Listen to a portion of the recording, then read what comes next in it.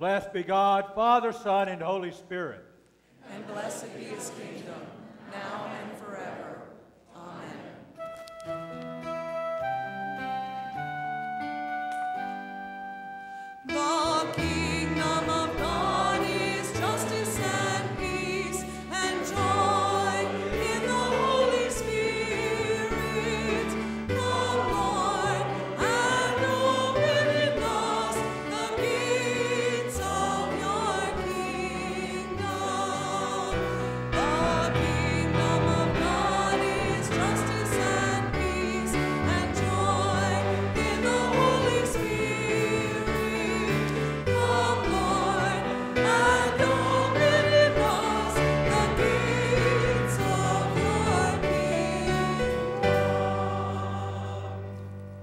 Be with you.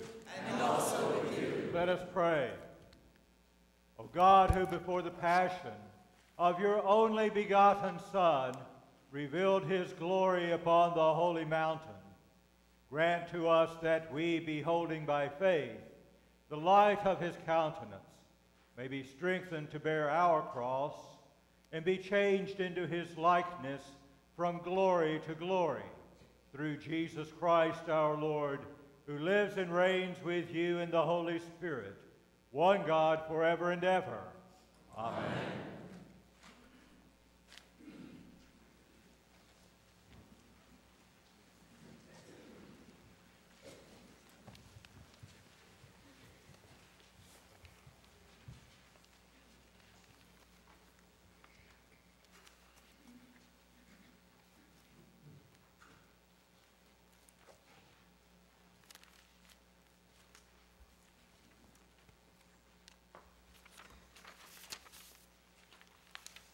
A reading from Exodus. The Lord said to Moses, Come up to me on the mountain and wait there, and I will give you the tablets of stone with the law and the commandment which I have written for their instruction. So Moses set out with his assistant Joshua, and Moses went up into the mountain of God. To the elders he had said, Wait here for us until we come to you again, for Aaron and Hur are with you. Whoever has a dispute may go to them. Then Moses went up on the mountain, and the loud cloud covered the mountain. The glory of the Lord settled on Mount Sinai, and the cloud covered it for six days. On the seventh day, he called to Moses out of the cloud. Now the appearance of the glory of the Lord was like a devouring fire on the top of the mountain in the sight of the people of Israel. Moses entered the cloud and went up on the mountain. Moses was on the mountain for 40 days and 40 nights. The word of the Lord. Please join me with the psalm that's going to be on the screen. The Lord is King. Let the people tremble. He is enthroned upon the cherubim. Let the earth shake. The Lord is great in Zion. He is high above all peoples. Let them confess his name, which is great and awesome. He is the Holy One. Almighty King, lover of justice, you have established equity. You have executed justice and righteousness in Jacob. Proclaim the greatness of the Lord our God, and fall down before his footstool. He is the Holy One. Moses and Aaron among his priests, and Samuel among those who call upon his name. They called upon the Lord, and he answered them. He spoke to them out of a pillar of cloud. They kept his testimonies and the decree that he gave them. O Lord our God, you answered them indeed. You are a God who forgave them, yet punished them for their evil deeds.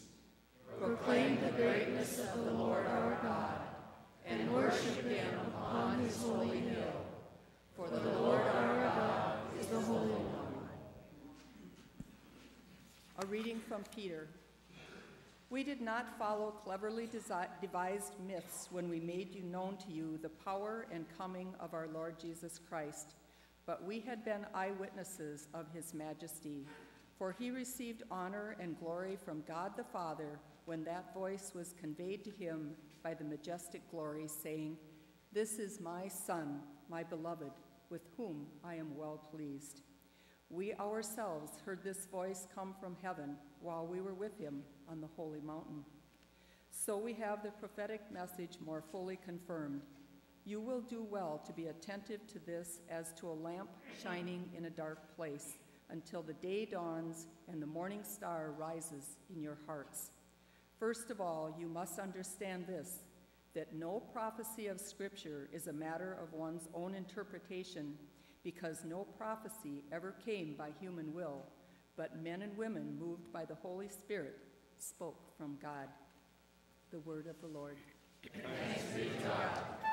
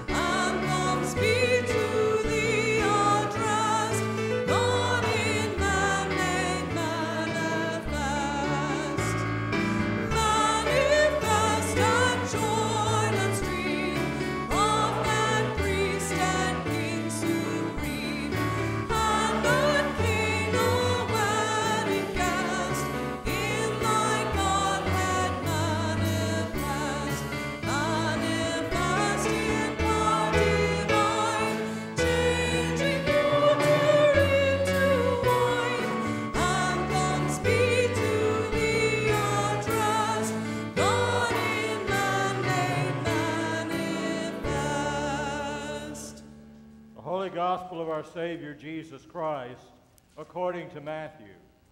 Glory to you, Lord Christ. Six days after Peter said that Jesus was the Christ, the Son of the living God, Jesus took with him Peter and James and his brother John and led them up a high mountain by themselves. And he was transfigured before them, and his face shone like the sun, and his clothes became dazzling white.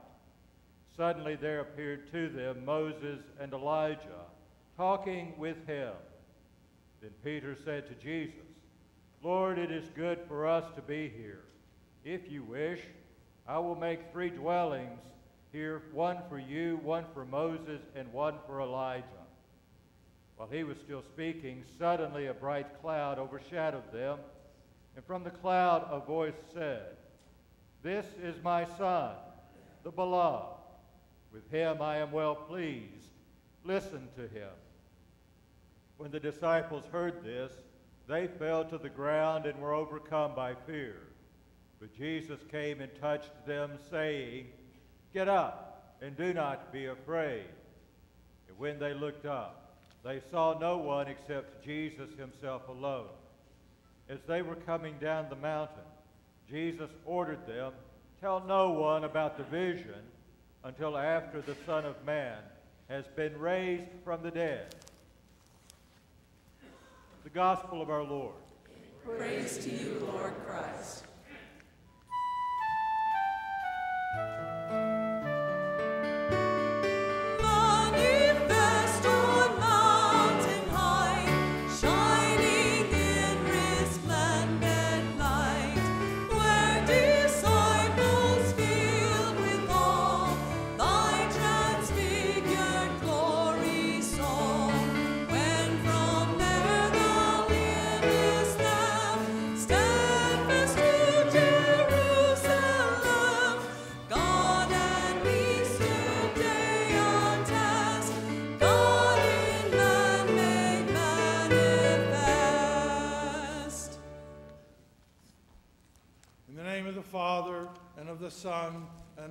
Spirit. Amen.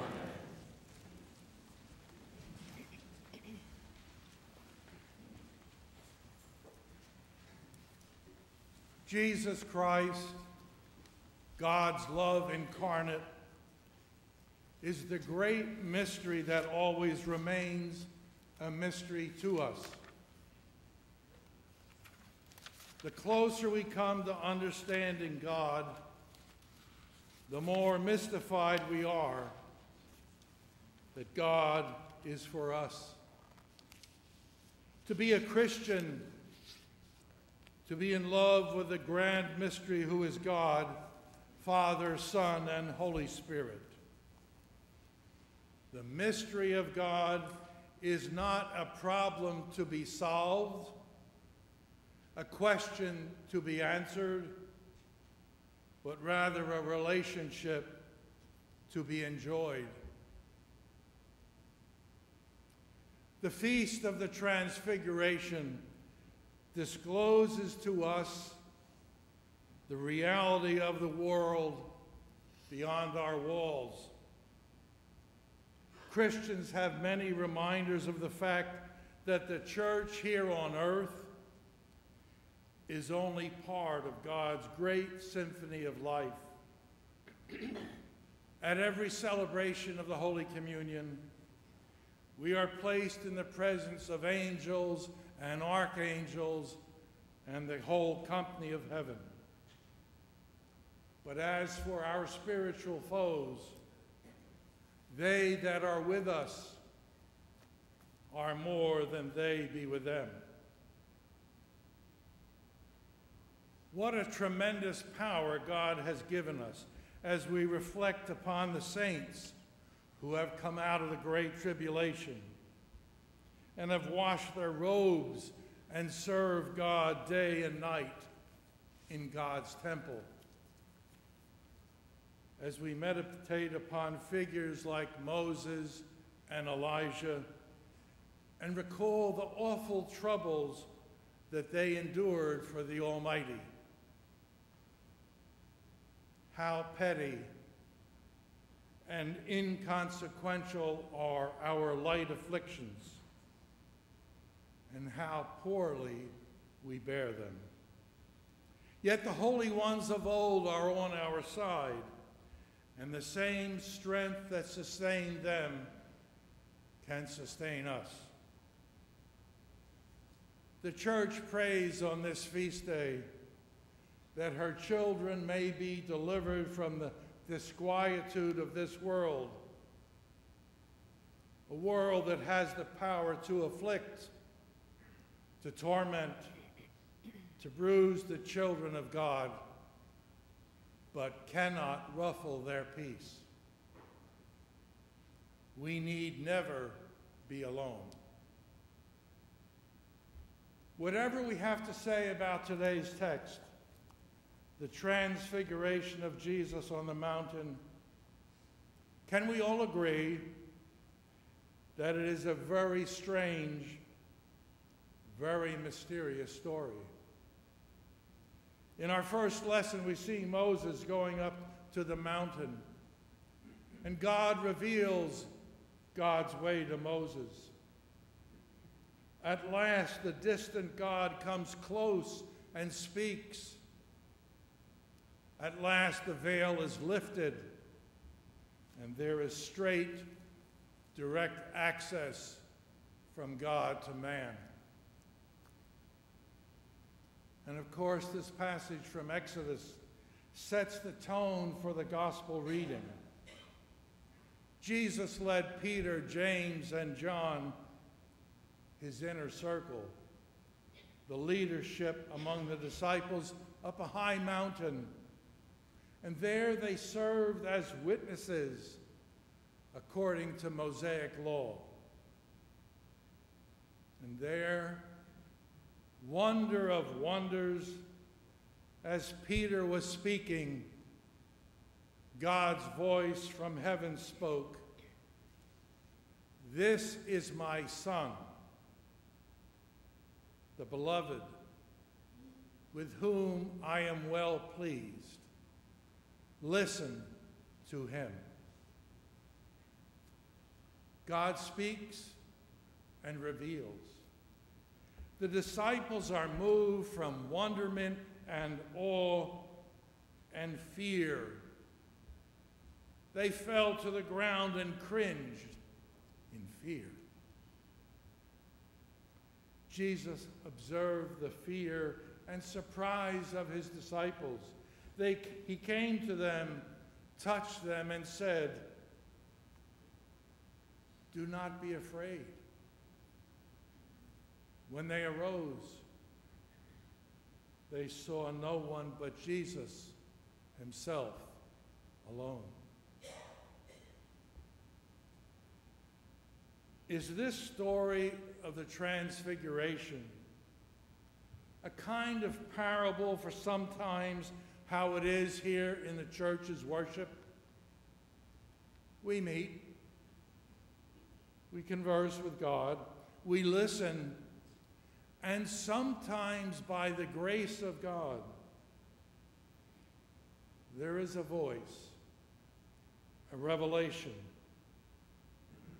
The living God speaks to us, reveals in truths.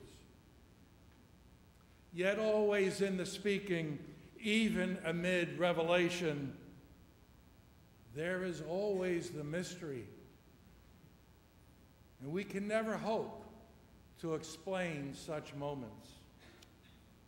And even if we hear the voice clearly, there is a sense in which the closer we come to God,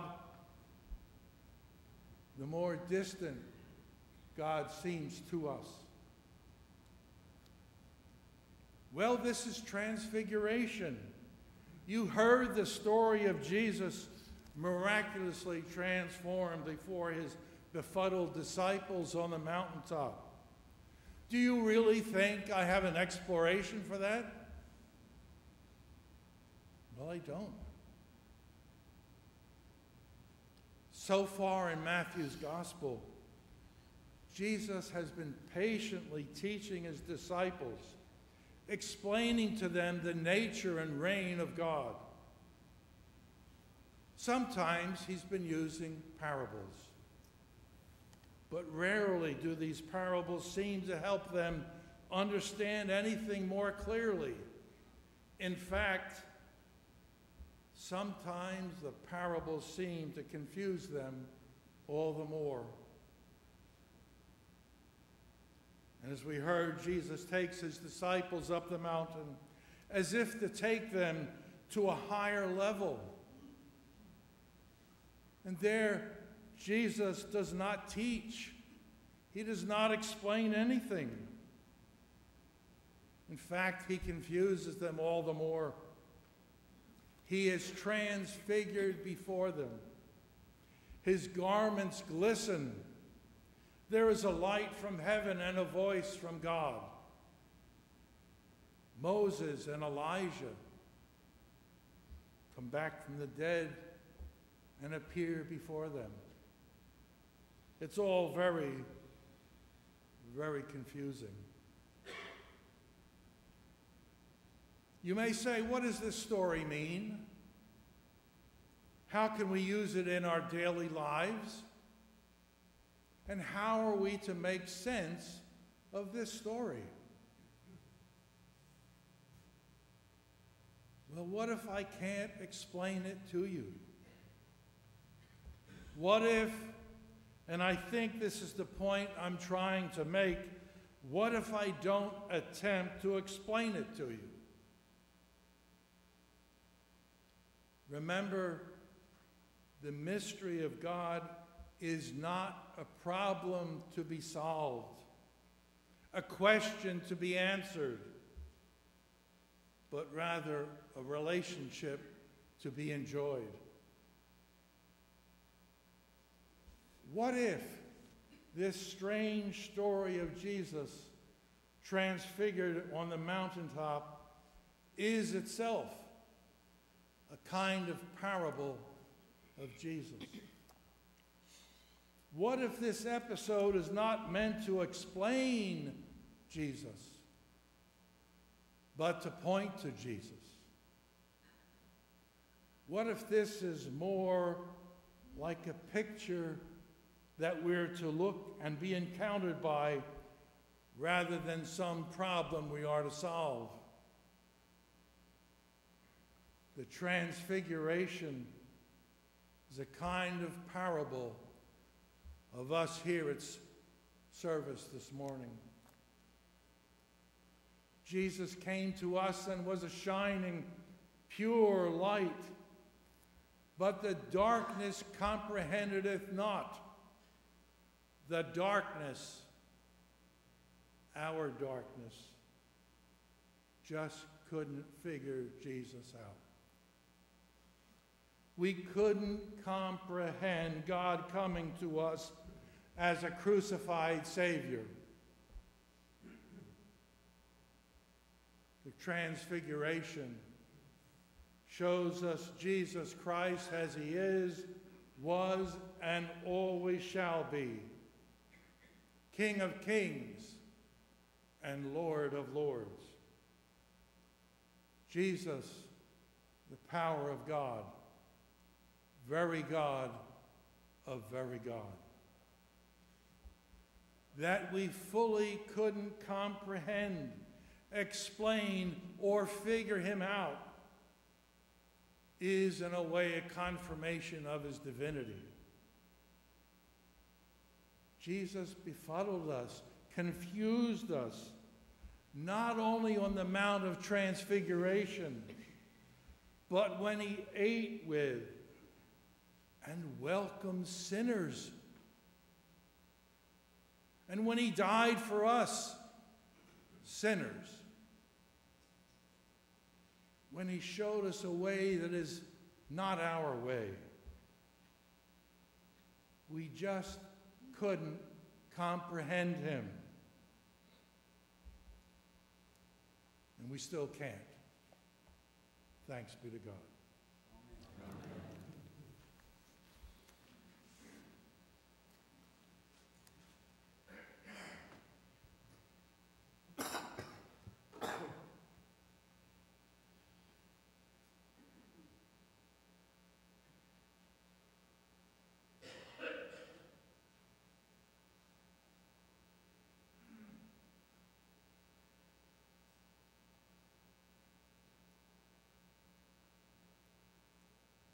Let us stand and profess our faith in the words of the Nicene Creed. We believe in one God, the Father, the Almighty, maker of heaven and earth, of all that is seen and unseen. We believe in one Lord Jesus Christ, the only Son of God, eternally begotten of the Father, God from God, light from light, true God from true God begotten, not made, of one being with the Father, through him all things were made. For us and for our salvation, he came down from heaven, was incarnate of the Holy Spirit and the Virgin Mary, and became truly human. For our sake he was crucified under Pontius Pilate. He suffered death and was buried. On the third day he rose again in accordance with the Scriptures. He ascended into heaven and is seated at the right hand of the Father. He will come in glory to judge the living the and his kingdom will have no end.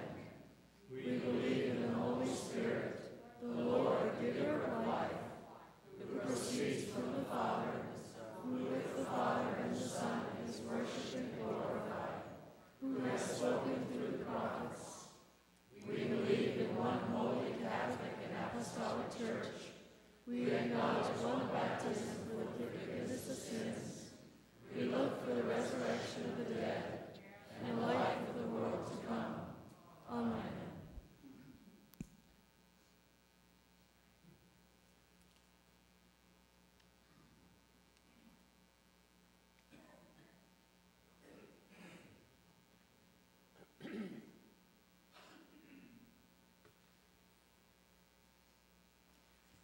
Please pray with me our prayer for growth.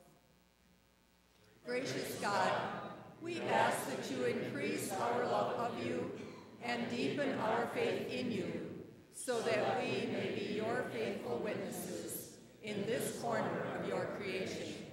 Amen. Father, we pray for your holy Catholic Church. That we all may be one. Grant that every member of the church may truly and humbly serve you.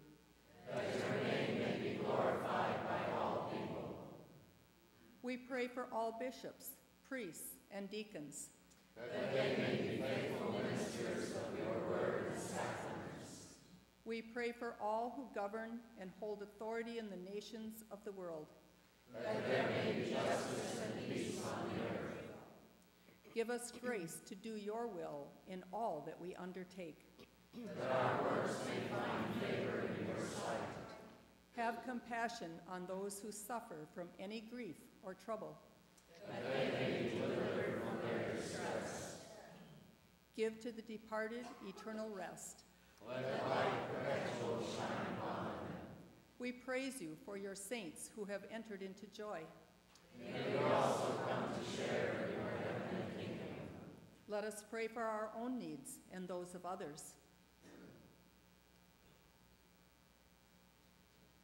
For Michael, our presiding bishop, Dabney, our bishop, Ray, Susie, and for all our retired clergy.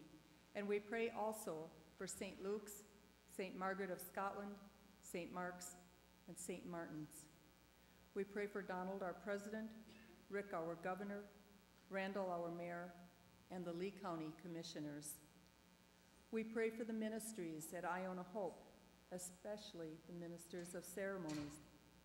We offer our thanksgivings for the many blessings of this day, for our guests and those celebrating birthdays and anniversaries.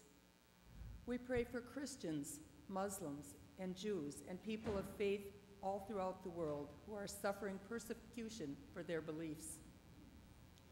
We pray for all who work for peace, especially those who give their lives that it may grow.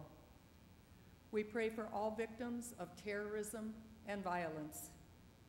We pray for those who are committed to our daily prayers, especially Rebecca, Dick, Scott, Rob, David, Mindy, David, Marianne, Betty, Dake, Tom, Don, Jean, Andrew, Bruce, Mike, Steve, Frank, Mark, Judy, the Parnell family, Joanne, Abby, Woody, Peter, John, and Jessica. In our congregation, we pray for the Wild family, the Wilder family, the Williams family, the Wilson family, the Winters family, and the Wolf family. We also pray for our pets, especially Jay, Riley, Ginger, Boogie, Cat Cat, Cato, and Sammy. Are there others for whom we should pray and blessings for which we give thanks?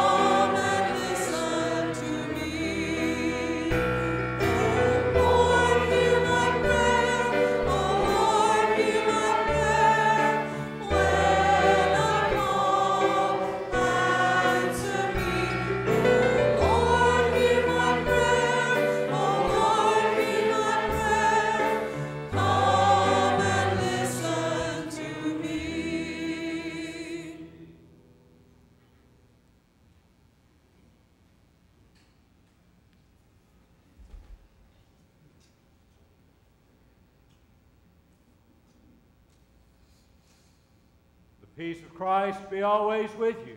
And also with you.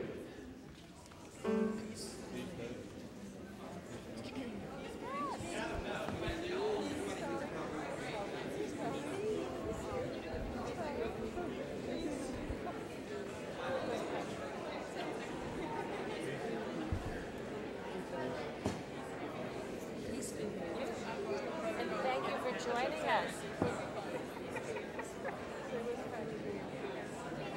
Alex, all the way in the back, yeah. Yes, yes. Well, actually, there are down. Yes. Uh, Perfect, thank you. Yes. Yeah. Okay.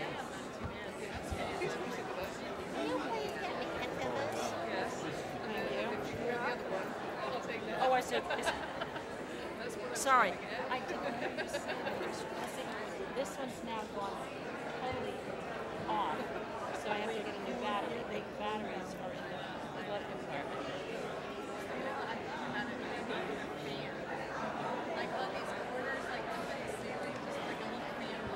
So Gail turned 80 yesterday.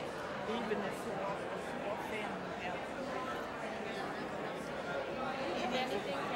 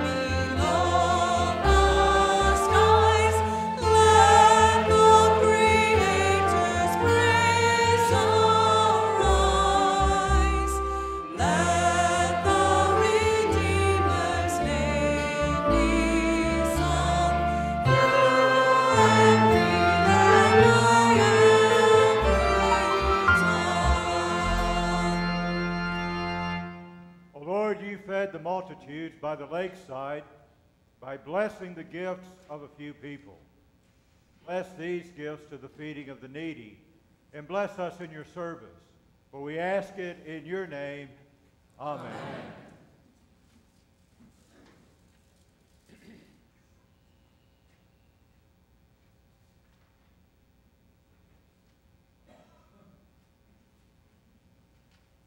We have quite a group of folks here this morning, and I think I need some assistance. If you're under 14, would you come up and join us and help me out? Sure. we have three kids. We have three men. Half of you go over here, and half of you stay over here and leave me in the middle. Okay, you remember what we do now. Whatever I do, you do okay?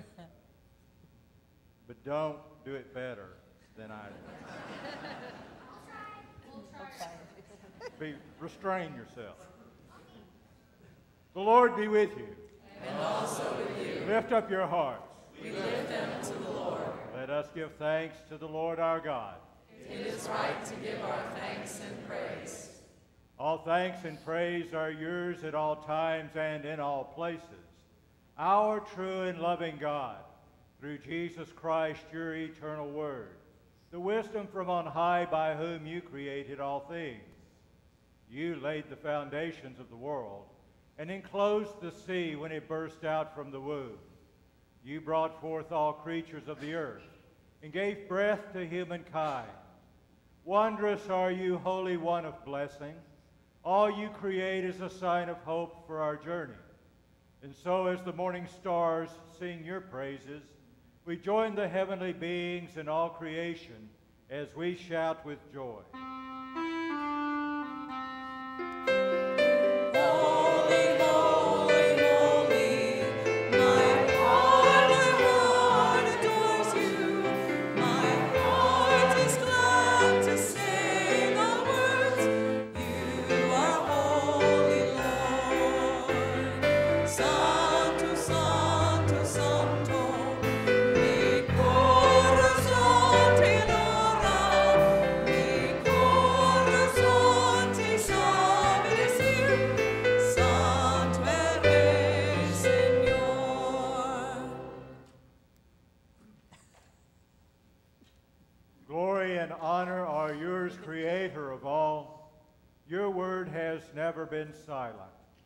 You called a people to yourself as a light to the nations.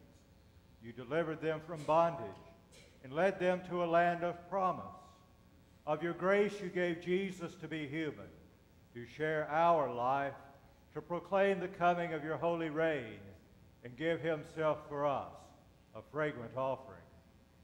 Through Jesus Christ, our Redeemer, you have freed us from sin, brought us into your life, reconciled us to you, and restored us to the glory you intend for us.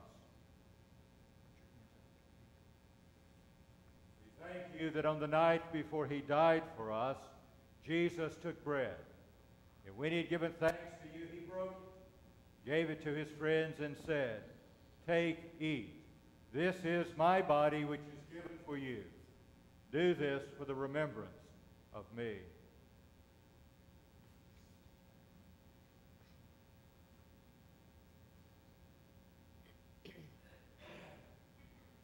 After supper, he took the cup of wine, said the blessing, gave it to his friends, and said, Drink this, all of you. This cup is the new covenant in my blood, poured out for you and for all for the forgiveness of sin. Do this for the remembrance of me.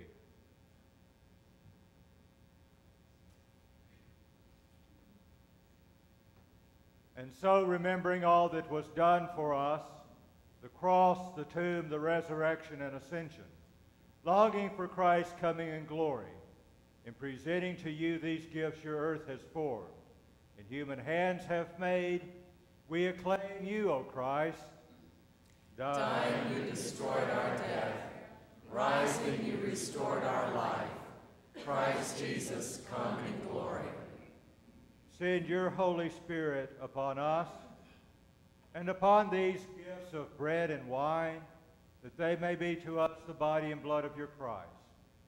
Grant that we, burning with your Spirit's power, may be a people of hope, justice, and love. Giver of life, draw us together in the body of Christ, and in the fullness of time, gather us with Columba and all your people into the joy of our true eternal hope. Through Christ and with Christ and in Christ, by the inspiration of your Holy Spirit, we worship you, our God and Creator, in voices of unending praise. Blessed are you now and forever. Amen. And now, as our Savior Christ has taught us, we are bold to say, Our, Father, who art in heaven, hallowed be thy name. Thy kingdom come, thy will be done, on earth as it is in heaven. Give us this day our daily bread, and and forgive us our trespasses, as we forgive those who trespass against us. And lead us not into temptation, but deliver us from evil. For thine is the kingdom, and the power, and the glory, forever and ever. Amen.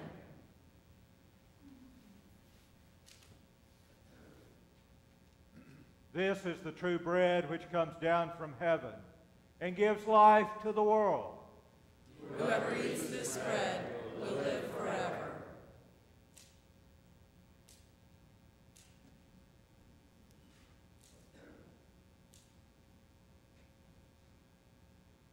So come to this table, you who have much faith, and you who would like to have more. You have been here often, and you who have not been here for a long time. You who have tried to follow Jesus, and you who have failed. Come. It is Christ who invites us to meet him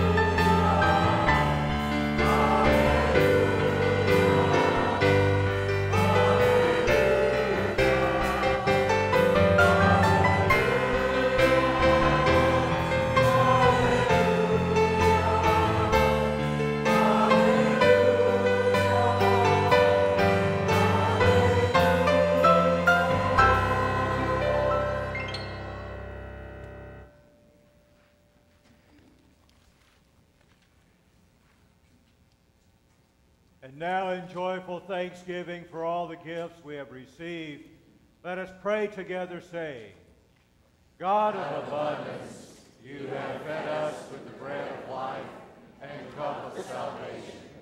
You have united us with Christ and one another, and you have made us one with all your people in heaven and on earth.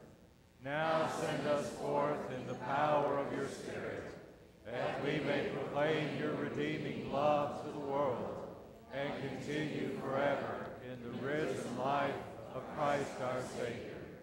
Amen. May Christ, the Son of God, be manifest in you, that your lives may be a light to the world. And the blessing of God Almighty, the Father, the Son, and the Holy Spirit be among you and remain with you always. Amen.